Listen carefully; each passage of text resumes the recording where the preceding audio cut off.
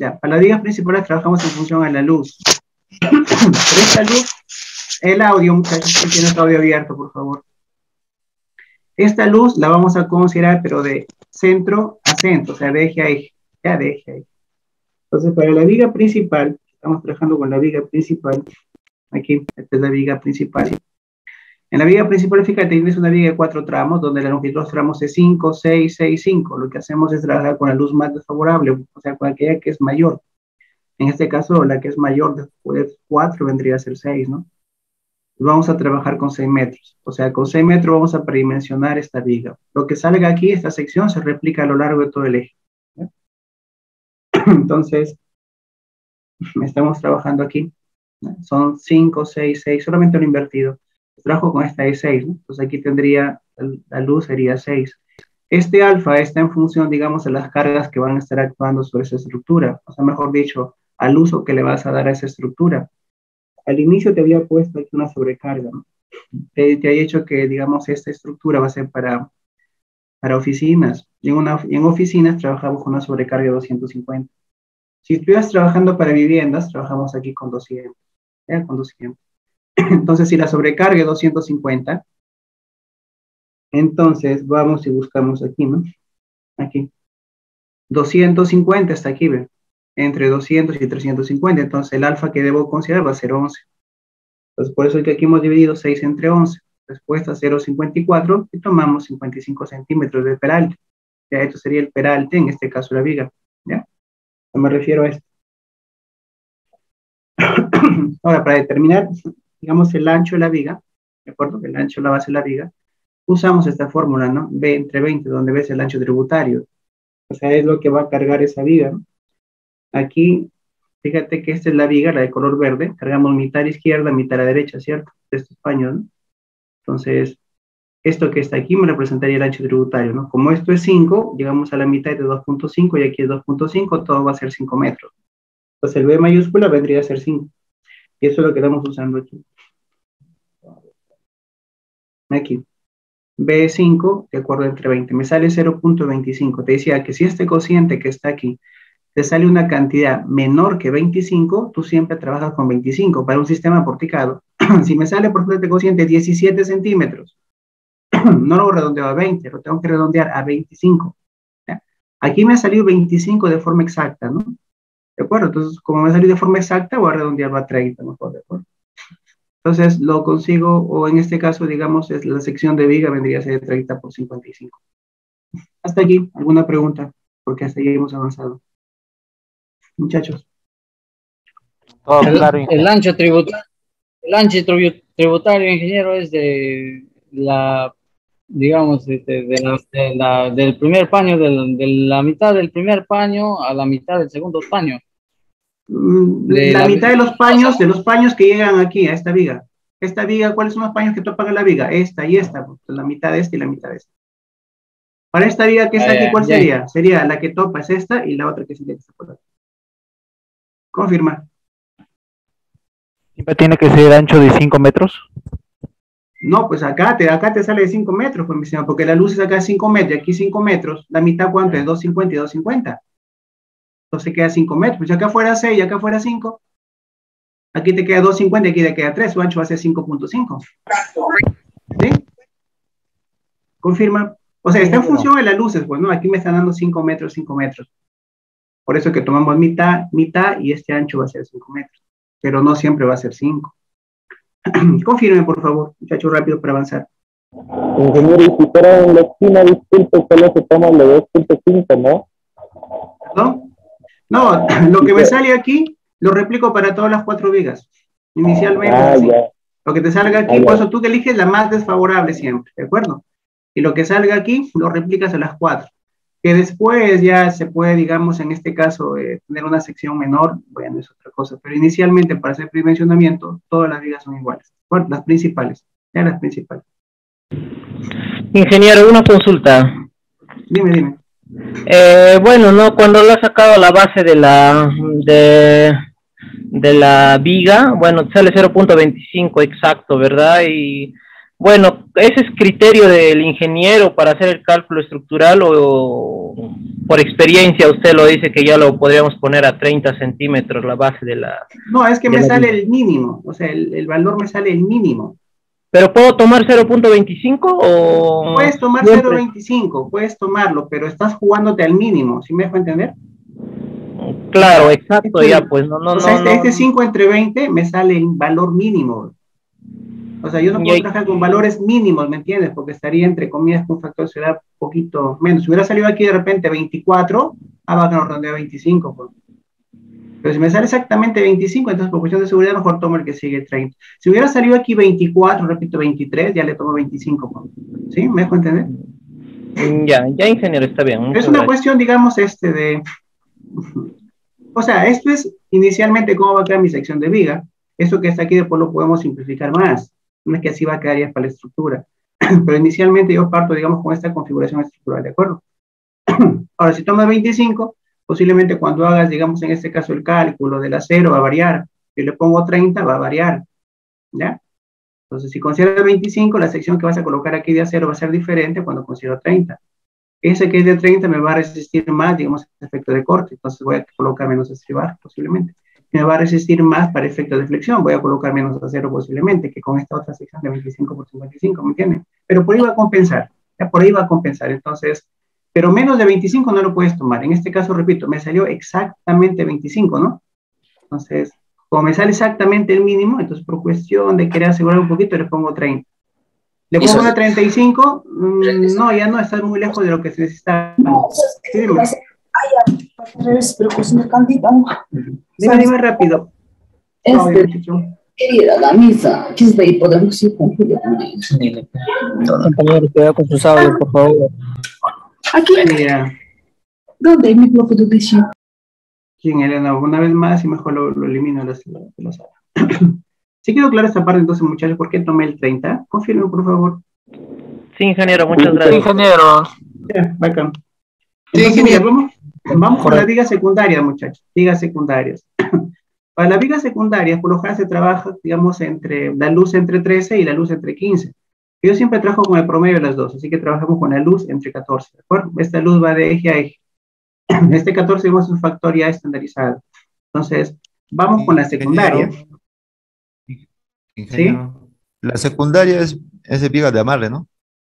No, ¿Y qué es un viga de amarre? muchachos. Por favor, las secundarias son estas que son paralelas a la viga, a la vigueta. ¿Ya? Repito, son paralelas a la vigueta. Diferenciamos, por favor, primero. Este de acá es la, la, la, la, la viga. ¿Estamos de acuerdo con la vigueta? Está el sentido de la losa. La clase pasada les expliqué que la, que la perpendicular, en este caso, a esta vigueta es la viga principal. Y las paralelas esas son vigas secundarias. ¿Hasta ahí vamos bien? Confirmen.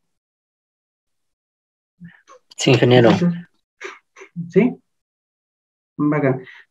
Las otras vigas que pueden aparecer aquí, que son llamadas vigas chatas, vigas de amarre, esas vigas no son estructurales. ¿De acuerdo? Repito, esas vigas no son estructurales. Las vigas que estamos diseñando en este momento son vigas estructurales. Son vigas que son, digamos, que tienen un peralte superior al ancho, en este caso, de la, de la losa. ¿Ya? ¿Me entender, muchachos? Hola. Confirmen. Sí, Este, ese, ese super- superalte era de, de 12, ¿no? ¿De cuál peralte? De, ¿Peralte 12? Peralte de 12 no tenemos porque la losa mínima es 17. Entonces la, el peralte de una viga chata pues tiene que ser mínimo 17, no puede ser menor a 17 para una losa ligera. Ahora, las vigas, esas vigas chatas que le llaman o vigas de contorno, solamente me apoyan a dar rigidez a la losa, más no son vigas que van a soportar cargas. Las que soportan cargas son aquellas vigas llamadas vigas estructurales, que son las peraltadas, que pueden ser principales o secundarias. ¿Ya? o sea, las, la- las vigas peraltadas son las principales en este caso. No. Tanto las vigas principales como las vigas secundarias son vigas peraltadas. Ay, Ambas ay, tienen peralte. Sino que las vigas que se pierden en la losa, esas que se pierden en la losa, Sí, que tienen el mismo espesor de losa. ya. Esas vigas, ¿de acuerdo? Esas no son vigas estructurales. ¿Me dejo entender? Son vigas simplemente para darle rigidez a la losa, porque tenemos paños tan largos que si tú no colocas una viga chata en el centro, entonces cuando ocurran cargas laterales, se va a comportar como un papel. Entonces imagínate un papel largo nomás. Y en ese papel largo, imagínate que vas a pegar paletitas a cada distancia y no coloques, no coloques esas paletitas que te digo. Entonces se genera, digamos, una plataforma muy, muy, muy poco rígida. Se comporta como un papel que lo puedes doblar, ¿de acuerdo? Por esas vigas chatitas, cuando les colocas en el centro de la, de la losa, lo que hace es darle rigidez a la losa. Para eso lo utilizamos. No lo utilizamos para soportar carga, muchachos, las chapas. ¿Ya? Cuando yo sé que va a ir un muro, cuando sé que va a ir un, perdón. a la losa. No entiendo la pregunta otra vez, por favor. Chata es para darle rigidez, porque si no, como dice usted, lo hace una, una losa Muy flexible. Muy, muy débil. Muy flexible. Nada más para eso. Pero si tú, por ejemplo, tienes una losa y sabes que en tu segundo nivel encima de la losa va a ir un muro, entonces tienes que hacer una viga peraltada. ¿no? ¿Sí me dejo entender, muchachos? Sí, ingeniero, está claro. Entonces, esas viguitas que aparecen por ahí, que son vigas chatas que le llaman, es para eso, ¿no? Ahora, las vigas que le llaman vigas de amarre o vigas de conexión, son vigas que por ejemplo trabajamos en la cimentación, pero esas vigas simplemente van a ser vigas para conectar, digamos, una, una perdón, en este caso una cimentación con otra. Solamente para cuando efectos, digamos, en este caso de un, un tipo de movimiento, esta zapatita no vaya a la derecha, no vaya a la izquierda, no vaya a vuelta a la, o qué sé yo, no se muevan en diferentes direcciones. Entonces, lo amarramos todo aquí, con tus viguitas de amarre, ¿de acuerdo? O tus vigas de conexión. Los amarramos ahí, cosa que toda la estructura se mueve en un mismo sentido. ¿Ya? Pero hay los, perdón, hay vigas, en este caso, digamos, de conexión, y hay vigas también de cimentación, que son totalmente diferentes. Pero cuando llegamos al curso concreto 2, ahí te voy a explicar eh, la diferencia entre esas vigas, ¿de acuerdo? Estamos ahorita con vigas, digamos, del nivel terreno hacia arriba, no de aquí hacia abajo, ¿ya? De aquí hacia arriba tenemos vigas estructurales que son principales, secundarias. Las chatas, repito, no son estructurales, ¿de acuerdo? Entonces, miren. Entonces, ah, perdón, ¿cuánto era la luz aquí, muchachos? Estamos con las secundarias, las que son paralelas a este sentido. Tienes esta, esta y esta. ¿Cuál de estas tres es la más desfavorable? ¿Cuál de las tres? Ambas tienen cinco, todas tienen cinco, ¿está bien? Todas tienen cinco. Si este fuera 5 y aquí 5.5 y aquí 5, trabajo con el, con el de 5.5. Todos son iguales, trabajamos con 5, ¿no? Ingeniero, una cosa. Dígame, dígame rápido. Este, ¿No varía? ¿Algo varía en ahí, ingeniero? ¿Cómo algo varía? Este, los, los, ¿cómo se llama? Los- ahí. No te escucho, no, no, no te, no te entiendo. Otra vez. ¿No varían los, los decimales ahí, ingeniero? Estamos diciendo que para vigas secundarias se divide LN entre 14. O sea, lo que cambia es el coeficiente aquí abajo. Claro, claro, las vigas, claro. Te digo, si es. No, es que esta LN, vamos a repetir, para vigas principales y secundarias es la que va de eje a eje. Ah, ¿Ya? Y ese 5 metros hasta que va de eje a eje. Por eso consideramos 5 metros nomás. ¿Ya? Ahora sí, por favor, me apoyan con este dato. A ver, 5 entre 14. ¿Cuánto les da? ¿Cuánto les da? ¿Cuánto les da, por favor? 0 punto 0.35. 0.35. ¿Sí? Redondeando 36, ingeniero. 3, 7, 357. Ah, ya tres ahí, lleva acá. Entonces, decimos aquí tomar. Miren, hoy día ya de paso que hemos hecho esto, les voy a enseñar a colocar a cero en columna, ¿de acuerdo? O sea, columnas es el último tema, pero les, les enseño ahorita de pasadita esta parte, ¿de acuerdo? Miren, entonces en la, la viga, en este caso el peralte, esa viga secundaria, ¿cuánto va a ser? Múltiplo de 5. ¿Quién le sigue a 36, pero múltiplo de 5? Muchachos. 40. 40. 40 centímetros. Creo que la clase pasada habíamos discutido esto, ¿no? Ingeniero, ¿y qué tal si yo le pongo 0.36 nomás al peralte? Bueno, la cuestión es que ningún estructuralista te va a decir, sabes que eso está mal. ¿Por qué? Porque, digamos, por convención te decía que los múltiplos son múltiplos de 5 las secciones por una viga y columna. Por cuestión, digamos, este, una aceptación universal, por decirlo así, ¿no? Pero si tú vas a hacer tus planos y le quieres colocar una, un peralte 0.36, no hay ningún problema. Nadie te va a decir, oye, está mal, desde el punto de vista estructural. Lo que sí te van a decir, oye, ¿sabes qué? Pero ¿por qué usas este tipo de, digamos, de, de números, no? Si son múltiplos de 5, les va a parecer extraño, pero no es que esté mal. Quiero que entiendan eso, muchachos, ¿de acuerdo? Entonces, nadie te obliga a colocar 40, simplemente por convención, por una aceptación, digamos, general, siempre trabajamos con múltiplo de 5. Pero eso no quita que tú puedas hacer una estructura con secciones que sean diferentes de múltiplo de 5. ¿Queda claro esa parte? Confirmen. Muchachos. Sí, ingeniero, no hay ningún problema. Miren, cuando trabajamos con vigas secundarias, muchachos, ¿de acuerdo? El peralte es la que se predimensiona. y la base, la base, trabajamos con 25. ¿Ya? Repito, la base trabajamos con 25. Entonces, para la base, simplemente va a ser tomar un B igual a 25. Por lo tanto, me queda una viga secundaria, en este caso de 25 por 40. Por favor, este, sí les voy a pedir que cada vez que ustedes participen no se olviden del audio, ¿sí? De repente estás haciendo otra actividad por ahí y mejor tu audio págalo, por para que la grabación quede nítida después, y para que demás puedan escuchar. Pepe, Pepe, te estoy hablando, Pepe. Tengan cuidado con la con el audio. Participen, sí, pero dejen de participar y el toque, digamos, este. bueno, entonces aquí, ¿qué dicen? ¿Quedó claro la viga secundaria? Por favor, confirmen, muchachos. Correcto, ingeniero. Ingeniero.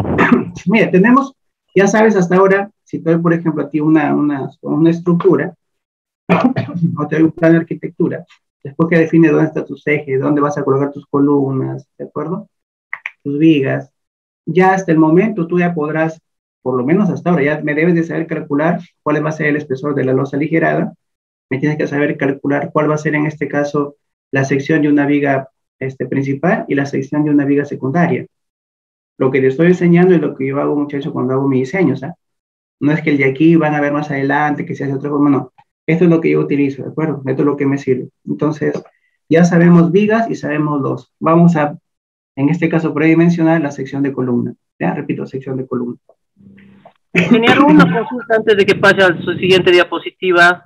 En, las, vigas, en las vigas secundarias, eh, ¿siempre se toma la base de punto 25 podemos tomar otras dimensiones? 25, no menos de 25. Puedes tomarle 30 si quieres, pero en este caso con 25 más que suficiente. Tienes aquí 40 centímetros. ¿Sí? Mm. Entonces, la, cuando, repito, cuando estamos en un sistema, en un sistema aporticado, un sistema en este caso, digamos, dual, siempre se trabaja con vigas cuya base sean mayores iguales a 25. Entonces, para tomar la base, la secundaria no puedo tomar una base menor a 25. Sí me dejo entender, ¿cierto? Confirme. Mm, sí, ingeniero, porque la base, la base de la viga principal está 30, ¿no? Y ahora estamos tomando 25 las secundarias. No, acuérdate que la que va a cargar, ¿quién es? ¿La secundaria o la principal aquí? Mm, bueno, las principales, ¿no? Pero también las secundarias trabajarían, ¿no? Pero por eso, según norma, ¿está 25 o es criterio del ingeniero ya?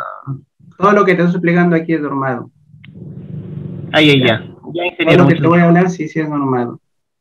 Entonces, repito, no puedes tomar una base de 20 para un sistema porticado. Cuando estamos en viga confinada, muchachos, para una viga confinada podría tomar en este caso bases de 12 centímetros aquí para una viga, pero es en otro tipo de sistema. Estamos trabajando el sistema, en este caso, digamos, de concreto armado, que es un sistema aporticado, ¿de acuerdo? Después haber otro curso más adelante, supongo que ustedes van a llevar también, espero que sí, que es este, arañaría confinada, así se le llama. Entonces ahí, digamos, el, la metodología para empezar a, a, predimensionar los muros, digamos, los, las columnitas, en este caso confinamiento, es diferente. ¿ya? Pero siempre que trabajemos en aporticado, la base mínima va a ser 25.